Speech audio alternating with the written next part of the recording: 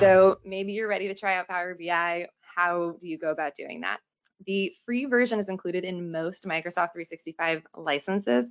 The thing that's important to note here is that users on the Power BI free version can create, but they can't share. So this is a good kind of test level if you're interested in it or if you um, are siloed and only need data for your area.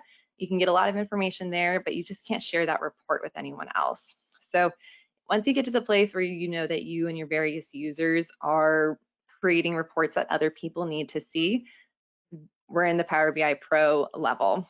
Uh, so this is an individual license and you can do it as a standalone or it's already included in your Microsoft 365 E5, A5, G5 license. Users can create and share with other pro users. So this is important. Even if you're not going to create content that needs to be shared out, if you're going to consume content someone else has made, both of you are going to need that Power BI Pro license. Now, let's say you really want those premium features. All right, well, still individual license um, that can be done as a standalone, or if you already have Power BI Pro, either as a standalone license or included in your licensing, there's a step up option. So you don't have to buy a full Power BI Pro, um, or sorry, you don't have to buy a full Power BI premium license on top of a pro license. You can get that step up option there. Um, so if you get that in place, users can now create and share with other premium users. Again, like the Power BI Pro model, this is a pay to play. So if you are a premium user and you want to consume premium content, both people need to have that premium license in place. It's not one or the other, no one's broadcasting.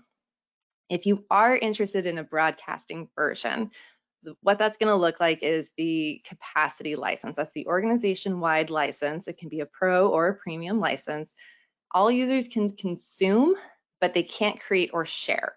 So um, again, if you know that you're gonna have your entire organization needing to see a report that someone has made, this could be a good option for you. Um, I'll get into the next slide about considerations of when it makes sense to go to the organization-wide versus individual license. Um, but again, keep in mind here that creators would still need to have an individual license for themselves to create that content the capacity license makes it possible for everyone to consume it, but creators will still need to be licensed individually.